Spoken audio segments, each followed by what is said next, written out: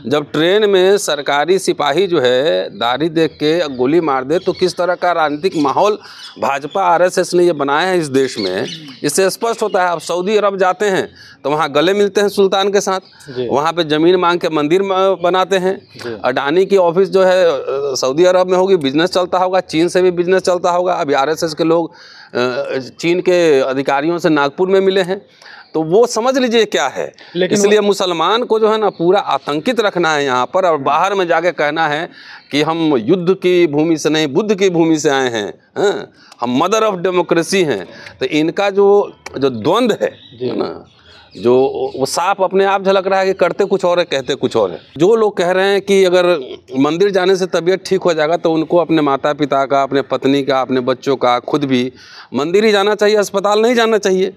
और उनको तो महाभारत का जो संजय वाला दूरबीन था ना, उससे उससे बोलना चाहिए था, टेलीविज़न पे आके क्यों बोल रहे हैं? टेलीविज़न तो टेक्नोलॉजी वो भारत में तो बना नहीं वो सब यूरोप, अमेरिका से बन के आता है तो यहाँ तो कुछ है नहीं। उनको ये भी अब कहना चाहिए कि भाई अंग्रेज़ी स्कूल में जाओगे तो उससे कुछ नहीं होगा तो उनको पाठशाला में भेजना चाहिए, आरएसएस के स्कूल में भेजना चाहिए, पीपल के पेड़ के नीचे बैठा के बच्चों को पढ़ाना चाहिए। बीमार पड़ोगे तो अस्पताल ही जाओगे, मंदिर नहीं जाओगे। या जब भूख लगेगी तो खाना ही मांगो मंदिर जाने से पेट आपका भरने वाला नहीं है। शिक्षा आपको मंदिर जाने से मिलने वाला नहीं है। तो वो लाइन जो उन्होंने खींचा है वो बहुत ही बेहतरीन लाइन है और इसी लाइन पे अडिग रहना चाहिए कि इनकी धर्म की राजनीति का कार्ड जो होगा, वो सामाजिक न्याय होगा, वो रोजी रोटी होगा, वो अस्पताल होगा, वो शिक्षा होगा। अब गोदी मीडिया तो क्या कहना है? गोदी मीडिया के बारे में कुछ कहना भी व्यर्थ है।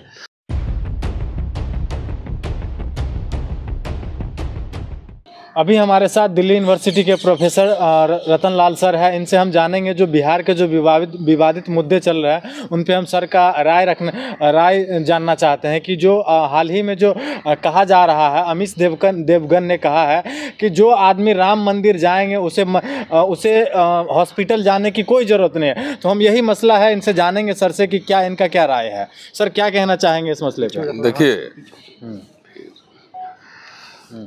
डॉक्टर अंबेडकर ने हाँ। पहले ही कह, कह दिया है कि भारत का इतिहास ब्राह्मण धर्म और बौद्ध धर्म में संघर्ष के अलावा और कुछ नहीं है। मतलब एक तरफ़ आस्था है अंधविश्वास है और दूसरे तरफ़ तर्क है। हाँ। तो इस संदर्भ में जो पूरा मामला चल रहा है और मैं आप समझने की कोशिश कीजिए चाहे दक्षिण भारत में डीएम के पार्टी हो उदयनिधि स्टालिन ने भी सनातन पर टिप्पणी की थी। और अभी राम मंदिर का उद्घाटन होना है उसके इर्द गिर्द राजनीति करने की कोशिश की जा रही है। हम्म, तो अभी तेजस्वी यादव ने चाहे तेजस्वी यादव से पहले उन्हीं के शिक्षा मंत्री प्रोफेसर चंद्रशेखर ने या उनके पहले फिर उत्तर प्रदेश के आपके स्वामी प्रसाद मौर्य ने जो लाइन दिशा दी है वो बहुत ही बेहतरीन दिशा है। और जो लाइन फुले ने बाबा साहब ने पेरियार ने जो लाइन खींची थी चाहे जगदेव बाबू ने बिहार के, या चाहे राम स्वरूप वर्मा ने जो लाइन खींची थी, ललन सिंह यादव ने जो लाइन खींची थी, उस लाइन पे ही यहाँ पे दलितों, पिछड़ों, आदिवासियों की मुक्ति होगी। इसलिए वो जो लाइन उन्होंने लिया है कि मंदिर जब बीमार पड़ोगे तो अस्पताल ही जाओगे, मंदिर नहीं जाओगे। या जब भूख लगेगी तो खाना ही मांगो मंदिर जाने से पेट आपका भरने वाला नहीं है। शिक्षा आपको मंदिर जाने से मिलने वाला नहीं तो वो लाइन जो उन्होंने खींचा है, वो बहुत ही बेहतरीन लाइन है और इसी लाइन पे अडिग रहना चाहिए कि इनकी धर्म की राजनीति का काट जो होगा, वो सामाजिक न्याय होगा, वो रोजी रोटी होगा, वो अस्पताल होगा, वो शिक्षा होगा।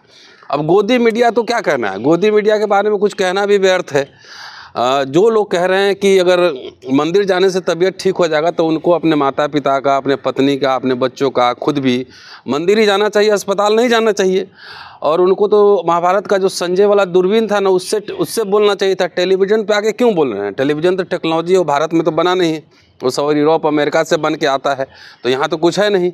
उनको ये भी अब कहना चाहिए कि भाई अंग्रेज़ी स्कूल में जाओगे तो उससे कुछ नहीं होगा तो उनको पाठशाला में भेजना चाहिए आरएसएस के स्कूल में भेजना चाहिए पीपल के पेड़ के नीचे बैठा के बच्चों को पढ़ाना चाहिए। तो ये कुछ नहीं इनको जब इधर से जो लीडर्स जो बोलते हैं देखिए ये बात तो हम लोग लगातार बोलते ही रहे हैं ना कि धर्म के चक्कर में मत पड़ो कांवड़ मंदिर छोड़ो अपना दाल रोटी का इंतज़ाम करो शिक्षा का इंतज़ाम करो शिक्षा का इंतज़ाम करो। और ये बात तो लीडर धीरे धीरे बोल रहे हैं तो माहौल तो बन रहा है। इसीलिए राजनेता तो कम गोदी मीडिया छटपटाया रहता है। तो अमीश देवगन गोदी मीडिया का सबसे बड़ा जो है एकदम प्रतिनिधि पत, पत्रकार भी है कि क्या कहें उसको समझ में नहीं आता है कहाँ पढ़ा लिखा ये भी समझ में नहीं आता है कि अगर मंदिर जाने से उसकी तबीयत ठीक होती है तो उस पर निगाह रखनी चाहिए कि बीमार पड़ने पर वो अस्पताल जा रहा है कि मंदिर जा रहा है हम्म। तो दिमागी रूप से दिवालियापन है भाई। धर्म की राजनीति से कुछ लोगों का पेट भरता है जिसका व्यवसाय चल रहा है जिसको चंदा आ रहा है जिसको पैसा आ रहा है जिसका सामान बिक रहा है उसका व्यवसाय चलता है उसका घर चलता है।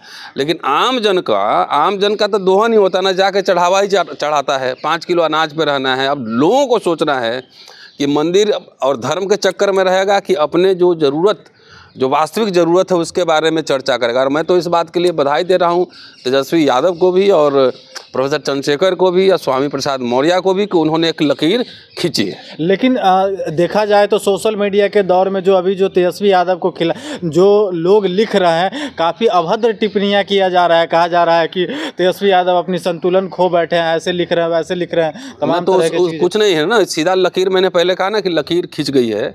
जो लोग लिख रहे हैं पहले जाके उनका जात पता कीजिए कौन जात का अपने आप स्पष्ट हो जाएगा।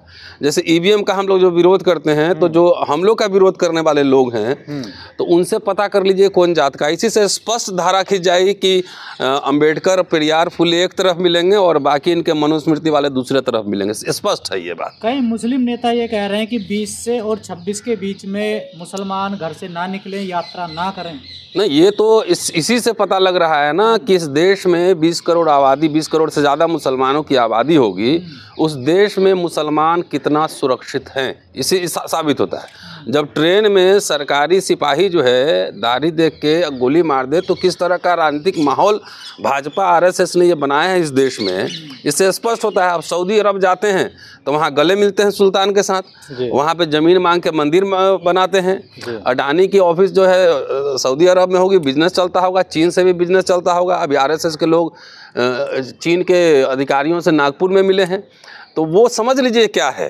इसलिए मुसलमान को जो है ना पूरा आतंकित रखना है यहाँ पर और बाहर में जाके कहना है कि हम युद्ध की भूमि से नहीं बुद्ध की भूमि से आए हैं हाँ? हम मदर ऑफ़ डेमोक्रेसी हैं। तो इनका जो जो द्वंद्व है ना जो वो साफ़ अपने आप झलक रहा है कि करते कुछ और है कहते कुछ और है। लेकिन अ, क्या मीडिया जिस जिस अभी अभी की जो मीडिया है क्या मीडिया को यही अब एक प्रोपेगेंडा रह गया है जो टीवी में आवे यही सब धर्म की धंधा बतावे लोगों को?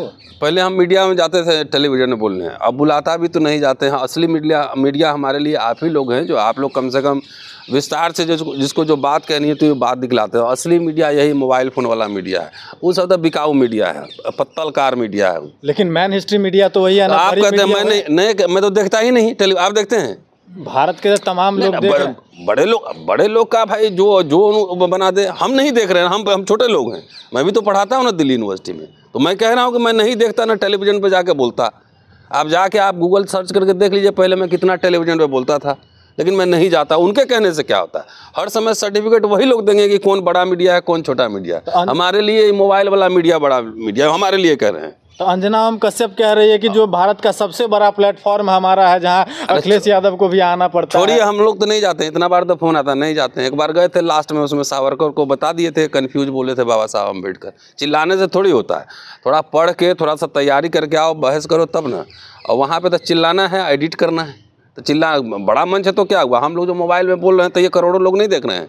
ये भी तो देख रहे हैं हम सर इस तरीके का अगर मुस्लिम नेता बयान देंगे तो डर का माहौल पैदा होगा नहीं डर का माहौल डर का माहौल है। हम्म, डर का माहौल है। आप अगर मटन भी लेके जा रहे हैं पैकेट में तो हो सकता है कि गाय का मान समझ के पीट दे। ये माहौल बनाया गया है। और चुनाव के समय ये ज़्यादा माहौल बनाया जा सकता है इसलिए वो ठीक बात है कि सतर्क रहिए। ये लोग के साथ पूरी सरकार है पूरी पुलिस है पूरा सिस्टम है सब कुछ इनके साथ है आपको कि हर तरीके से दबा दिया जाएगा। अब मीडिया तो फिर जो कलाकारी करने के लिए है सो तो है ही। जी थैंक यू